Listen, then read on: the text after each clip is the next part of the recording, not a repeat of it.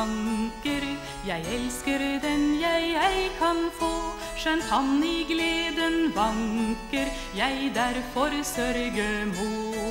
Stor sorg var det jeg deg ei fikk, som jeg har hatt så kjær. Så mange falske mennesker, årsaken dertil er. O, hadde jeg ei skuet ditt ansikt, dine øyne blå, o, hadde jeg ei kommet til landet hvor du var, da hadde jeg vært lykkelig og fri fra sorg og hat. Den dag kan aldri komme at jeg kan blive glad. Se blomstene så skjønne, på vårens mark. Jeg sørger meg til døde for den jeg jeg kan få. Ja, om jeg enn i døden går, da bliver sorgen din. Men aldri ut i verden går du dog av mitt sinn. Langt heller vil jeg reise den lange vei med stor besvær, enn som jeg ville være blant falske mennesker. Til øde mark jeg reise vil, og der mitt telt oppslå. For hvert et ord jeg taler, av skoven svar jeg får. Akk av min håre skjebne, mitt hjerte er av sorg beklemt. Jeg hadde meg en venn utvalgt, han har meg rent forglemt. Jeg ingen annen have vil enn den som jeg har kjær. Jeg sørger og studerer, så jeg er nesten kvalt. Nu slutter adjø. Jeg kan ei lenger skrive, min penn er bleven tørr. Min hals er hes, min sorg er stor, min venn har meg forlatt. Gud Fader ut i himmelen, han gjør meg sorgen lett.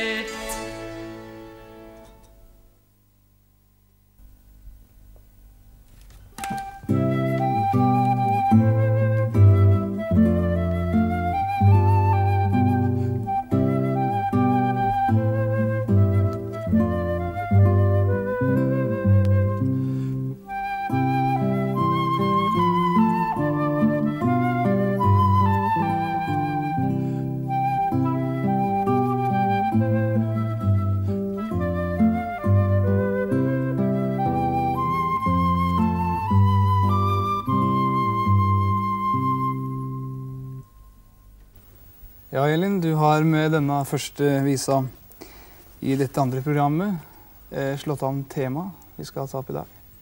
Og det er eh, kjærlighetsviser. Mm. Og der har vi et mylder å velge blant. Ja, det er ikke så rent få heller. Hvis vi tar for oss visene fra forrige århundre og begynnelsen av dette, og prøver å foreta en slags gruppeinndeling etter tema, så er det ikke tvil om at annet enn at kjærlighetsvisene de vil nok ende opp som den største gruppen, tror jeg. Bunke på bunke. Bunke på bunke, ja. Det er nok å nevne navn som Hjalmar og Hulda, Amanda og Herman, Kors på Idas grav, Elvsborgsvisene kunne sitte og nevne i fleng. Og det er viser som folk flest kjenner igjen, og viser som har holdt seg lenge levende i muntlig tradisjon. Ja. Og det i seg sjøl er jo et tydelig tegn på at de har vært virkelig populære. ja. Nå er jo dette å skrive om kjærlighet også et uh, tema, eller uh, hva skal jeg si Det er noe som aldri går av mote, i hvert fall. Ja. Særlig dette med ulykkelig kjærlighet. Så lenge det fins folk som forelsker seg, og kanskje blir ulykkelig forelsket, så vil det finnes folk som skriver viser om det. Mm. Men måten en gjør det på, er vel forskjellig, da. Ja. For eh, sånn som en del av de visene her kan jo nesten virke komiske på oss fordi de er såpass dramatiske og sentimentale. Ja. Og så har jeg lagt merke til at eh, språkformen virker nesten eldre enn eh, nødvendig, kan du si, i disse avisene her. Ja. Og i tillegg til det så har vi også en del viser som hvor handlingen eh, utspiller seg under fjernere himmelstrøk enn akkurat de norske. Mm. Vi kan jo f.eks. høre på hva som skjedde ved Rindals klipper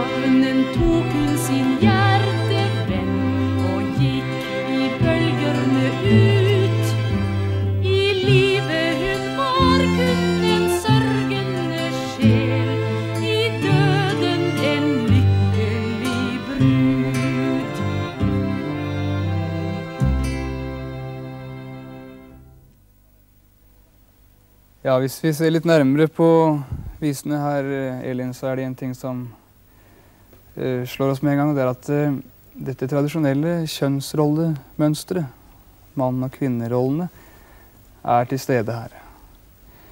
Og det er uh, vel så at hvis en mann sviktes, blir sveket, så vil han gjerne ta en grufull hevn. Han dreper gjerne den elskede og hennes nye venn. Men eh, jenta går litt eh, forsiktig til verks, nær. I hvert fall ikke så drastisk i reaksjonen. Ja, i hvert fall så Hvis hun gjør noe lignende, så er det bare henne sjøl det går utover, som regel. For eh, jentene i visene så kunne det ofte være en løsning på problemene å ta livet av seg. Når de satt igjen der ikke sant, med en unge på fanget og elskeren hadde stikket sin kos, selvfølgelig. Sånn som elsker alltid gjør i sånne viser. Mm -hmm. Men eh, vi har også en god del kjærlighetsviser hvor den ulykkelige går mer og sørger i det stille.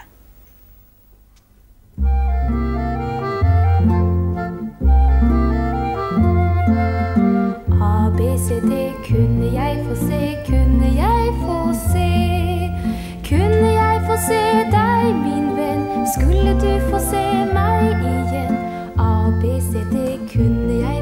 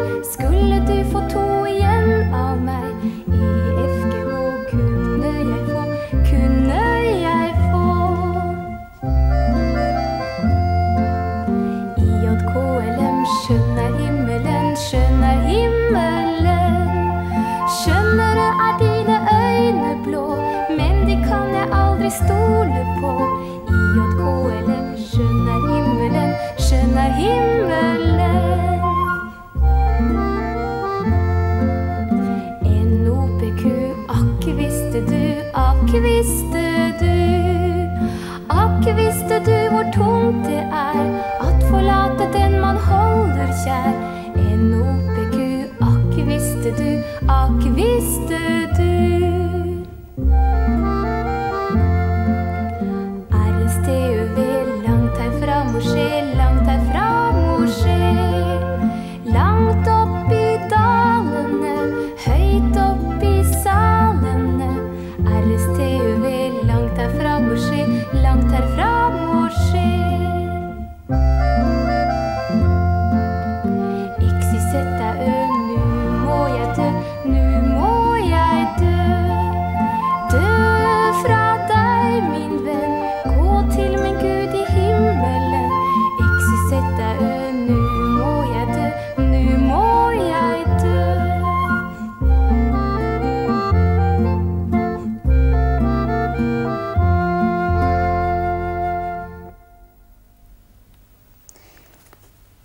Enkelte av disse visene kan jo få oss til å smile litt. De virker jo litt naive på oss i dag, men eh, de forteller jo på sin måte en del om de samfunnsforholda som de blei til under, om tida.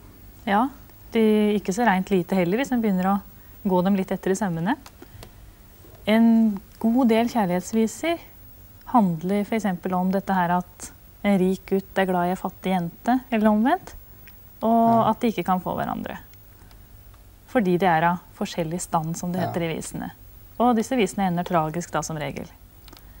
Men eh, vi har ei vise, i hvert fall, som heter 'Den rike og den fattige pike'. Og den ender ikke tragisk for den fattige. Skal vi høre på den? Ja.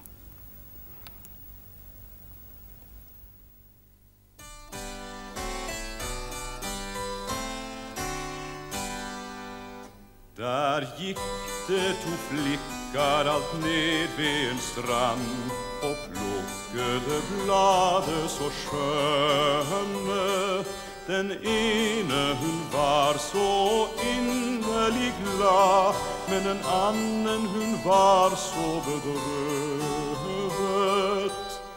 Den rike hun sa til den fattige så. Du så sørgelig bedrøvet? Måske har du mistet din far eller mor. Må skje, har du mistet din ære. Jeg har verken mistet min far eller mor, og Gud har bevaret min ære.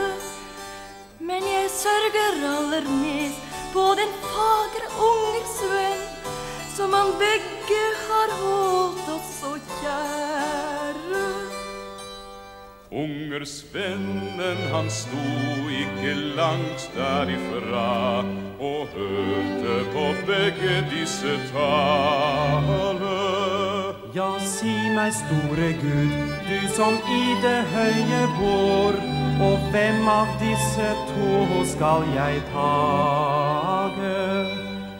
For tager jeg denne som rikdommen har, og lar den fattige bortfare.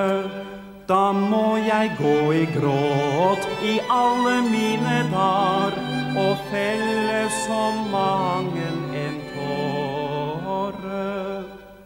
Ungersvennen han gikk nu av buskene frem og rakte den fattige hånden. Ja, du skal bli min, og jeg skal bli din. Gud, la oss leve lykkelig i sammen. Ungersvennen, ungersvennen, hva tenker du på som rykker den fattige hånden?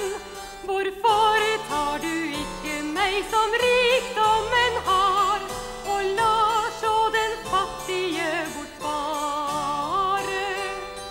Rikdommen er blott et lån av Gud, men fattigdommen er en belønning. Den som rikdommen har,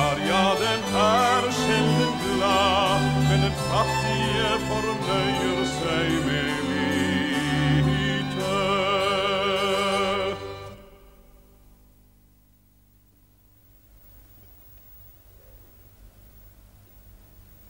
Det her var jo en eh, kanskje litt uvanlig god slutt på ei sånn vise som oftest ender tragisk.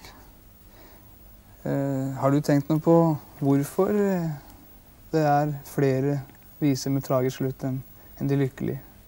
Ja, tenkt på det har jeg jo, men jeg, noen forklaring kan jeg ikke akkurat greie å gi. En mulig teori kan vel kanskje være det at vi har et visst behov for å sitte og gråte en skvett en gang iblant for å få lov å vise følelser. Og enten vi da gjør det på kino og sitter og ser på en tragisk film, eller vi sitter og synger ei tragisk vise og gråter, så går vel det på en måte ut på ett. Og en annen ting er vel også dette her at fra forfatterens side så har vel kanskje et tragisk kjærlighetsforhold litt mer eh, muligheter i seg til å gjøre noe med eh, dikterisk, da. Ja. Jeg har tenkt på det at eh, når du elsker og blir elsket igjen, så er dette følelser som du lever opp i nået, kan du si. Du er ferdig med det. Du kan jo lage en fin vise om lykkelig kjærlighet, men stort sett så lever du det meste. Mens eh, hvis du elsker og ikke får noe svar på dette her, så har du da et overskudd av følelser som det kanskje eh, kan gå an å gi uttrykk for kunstnerisk hvis du har talent i en eller annen retning. Det behøver ikke være viser, det kan jo være en melodi eller en, et maleri for den saks skyld. Eh, så sitter det da en del folk rundt omkring som føler på samme måten uten kanskje å finne noen mulighet til uttrykk for det. De vil da motta det. Ja. Vet ikke om det er noen forklaring, kanskje. ja, en mulig forklaring er det jo. Nå er det jo ikke bare tragiske kjærlighetsviser, da. Nei, jeg har uh, tatt med meg en som jeg er litt glad i. Det er mange som har uh, spurt hva jeg har å gjøre i et uh, program som dette, om skillingsviser. Og sannheten er at den aller første visa jeg kunne, og hele skal vi si, tradisjon, bakgrunn for det jeg har gjort siden, eh, ligger jo i skillingsviser. Den første visa altså var ei skillingsvise som eh, heter 'Kunstner min pike du maler'.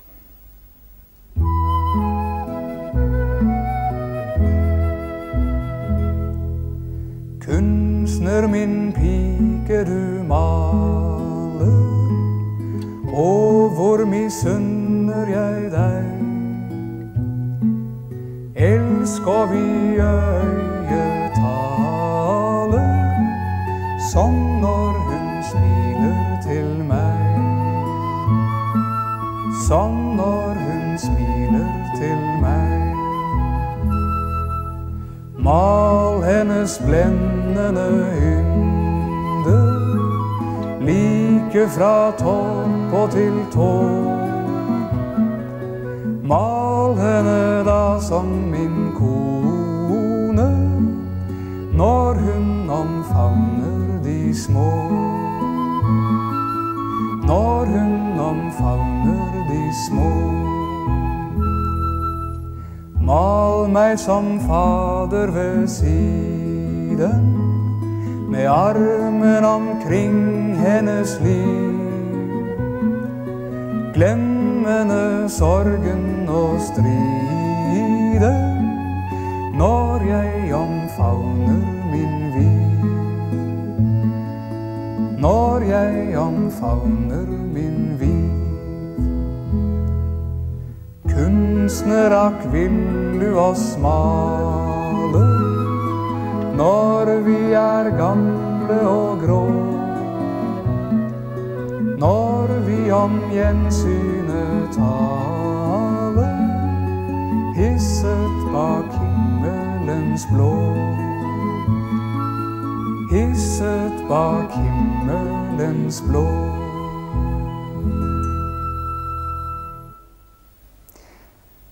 Ja, visa lærte jeg av farmor, og hun lærte meg også melodien. Som eh, Altså, jeg fikk den jo muntlig av henne. Farmor kunne ikke noter. Og hun hadde også fått den på denne måten Uh, ute i Sveio i Rogaland da hun var småjente. Og det er vel denne måten som disse avisene har vandra på. Ja, mens du for tekstenes vedkommende har både en skriftlig og en muntlig overlevering, så har melodiene gått rent muntlig. For eh, på skillingstrykkene så sto det sjelden eller aldri noter. For det var jo ikke så mange som kunne det, så det var ikke noe vits i det. Men isteden så kunne det stå eh, en annen kjent vise som melodiangivelse da, til den nye visa. Synges som Ja, den og den. Ja. Elvira Madigan, for eksempel. ja da. Eller mange. ja, mange. Hjalmar Hulda. Ja, for eksempel. Eh, jeg husker den eh, Åssen var den? Tam, taram, taram, taram, taram, taram. Der har vi jo i hvert fall Vi har Pelle Tordenbraks vise. Vi har Rombaksvisa. Og Kalle Petterson og Josefina. Mm. Kors på Idas grav. Kors på Idas grav. Ja. Sikkert mange flere som går på samme melodien. Eller Ja. veldig lik melodi. Ja. Det er da tilfellet med mange av disse visene at du har mange forskjellige melodier på, på da ei enkeltvise. Og når jeg har vært ute og synge viser, skillingsviser, da, så har jeg ofte fått den reaksjonen at ja, den teksten, den sang du nok eh, riktig sånn som den skal, sånn som det skal gjøres, men melodien, den var ikke sånn som jeg har lært meg. Feil melodi. Ja. Feil melodi. Ja, jeg har hørt det samme. Og dette her kommer jo av det at du har veldig forskjellige melodier rundt omkring i landet. Og melodiene har jo da tatt sin farge av de lokale musikktradisjonene rundt omkring. Nettopp fordi en ofte også måtte improvisere melodier på disse trykkene når det ikke sto noen melodiangivelse. Mm. For det hendte også. Ja, det sto jo 'Synges til egen melodi', eller hva det sto på et fint trykk du hadde her i stad. Sin egen velklingende melodi. Velklingende melodi ja. var det. Ja da. Akkurat. Det kunne vel hende når du satt med sånt uh, trykk og ikke hadde noen melodi, at du lagde en melodi sjøl òg? At det oppsto melodier som siden ble brukt? Ja, det er sikkert vært mye tilfelle, det. Den neste visa som vi skal høre nå, om sjømannen og hans pike, den har mange forskjellige melodier. Og vi har da etter beste evne, får vi vel si, prøvd å velge ut én av dem.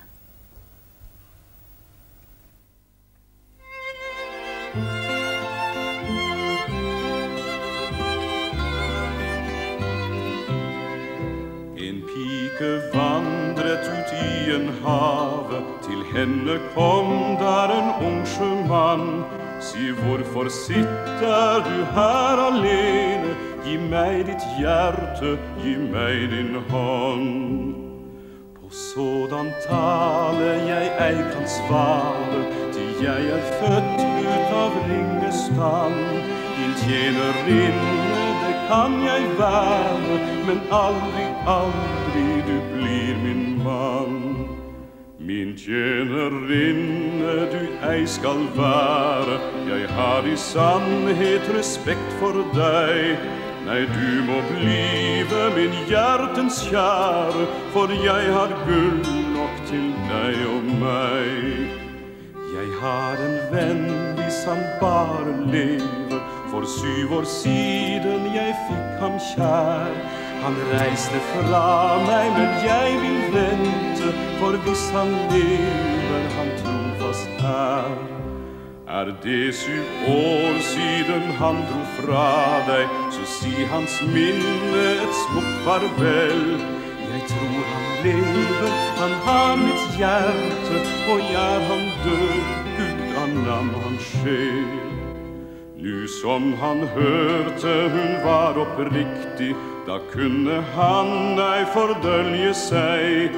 Du får belønning for hull og troskap, til vennen lever så lykkelig. Jeg er den venn som for syv år siden, for syv år siden dro over hav. Nu er jeg kommet for deg at favne og innfri løftet jeg en gang gav. Er du den venn som for syv år siden, for syv år siden dro over hav? Så vis meg hånden, så vis meg fingeren, så vis meg ringen som jeg deg gav. Så tok han hånden ut i sin lomme, der lå en ring av det røde gull. Her ser du hånden, her ser du fingeren, da hun så ringen, hun falt omkull. Så tok han henne i sine armer og kysset henne en gang, to, tre og sagde jeg er den lykkeligste, til jeg har funnet min kjæreste.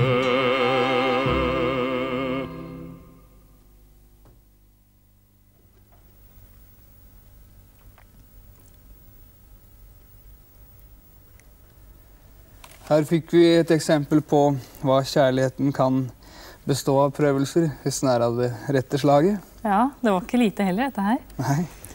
Eh, akkurat den typen viser, som denne her var et eksempel på, da, de virker jo på mange måter kanskje litt komiske på oss. Og har sikkert gjort det på mange andre òg, for det er i hvert fall laga en del parodier på akkurat sånne viser. Men eh, en kan jo lage muntre kjærlighetsviser uten å behøve å gå veien om parodien også. Og det har vi et eksempel på i neste vise, som heter En splitter ny og lystig vise om kjærligheten.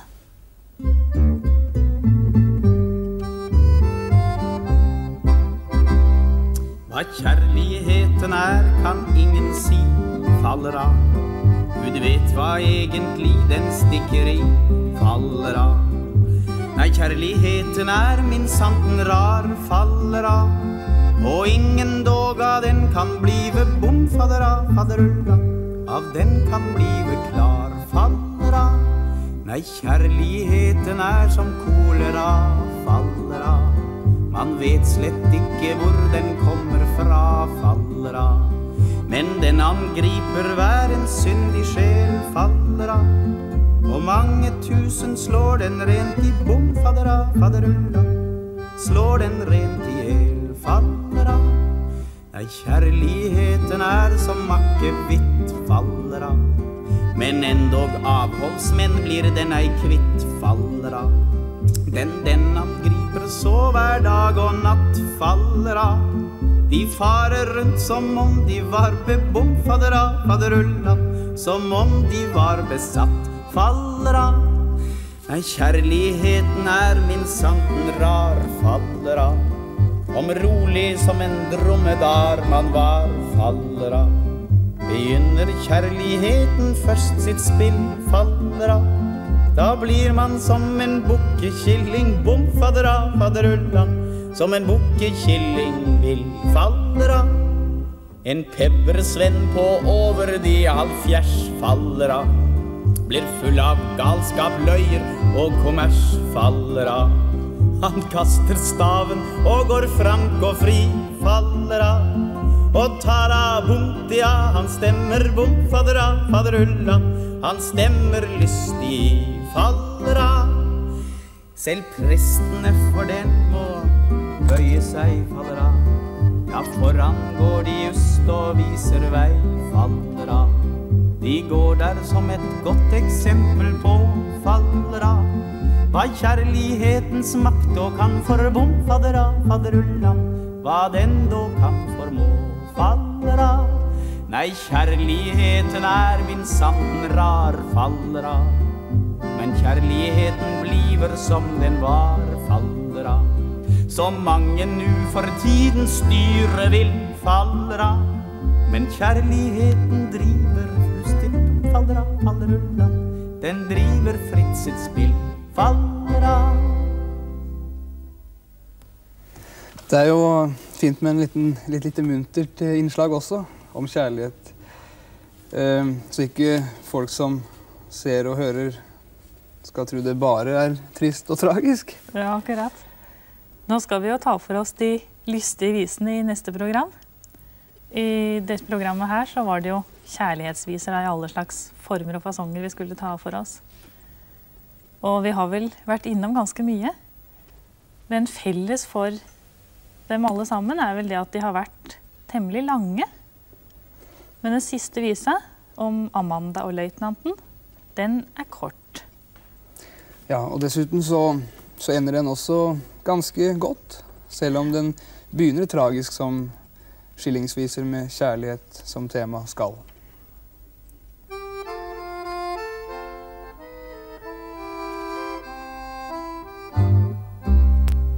Amanda var sort håret, så deilig fin og søt.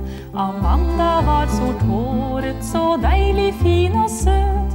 En løytnant kjekk hun elsket liv og død i sin ungdom. Amanda gikk i skogen, sin løytnant møtte hun. Amanda gikk i skogen, sin løytnant møtte hun. Der de plukket blomster som man dem plukker kun i sin ungdom. Men løytnanten ble plukket av kreditorer rett. Ja, løytnanten ble plukket av kreditorer. Han giftet seg for penger, som løytnanter gjør det i sin ungdom. Blameret gikk Amanda og satte seg på strand. Blameret gikk Amanda og satte seg på strand. Hun sagde fy for allting, hvor får man nu en mann i sin ungdom? Amanda averterte straks ut i en avis. Amanda averterte straks ut i en avis. Sitt hjerterom til leie for ekstra billig pris til en ungdom. Og tenk, der kom en skredder, Amanda hun slo til. Ja, tenk, der kom en skredder, Amanda hun slo til. Han har gebiss og måne og hadde vært vill i sin ungdom. Blomster trives, de trives sammen best. Ja, ville blomster trives, de trives sammen best. For begge har de blomstret og lever på en rest fra sin ungdom.